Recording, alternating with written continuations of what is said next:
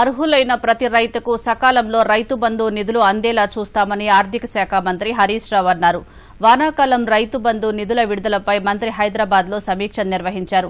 ఇప్పటి వరకు నాలుగు ఎకరాల వరకు ఉన్న యాభై ఒకటి పాయింట్ తొమ్మిది తొమ్మిది లక్షల మంది రైతులకు సంబంధించి మూడు వేల తొమ్మిది వందల నలభై ఆరు కోట్ల రూపాయలు విడుదల చేశామని మంత్రి తెలిపారు.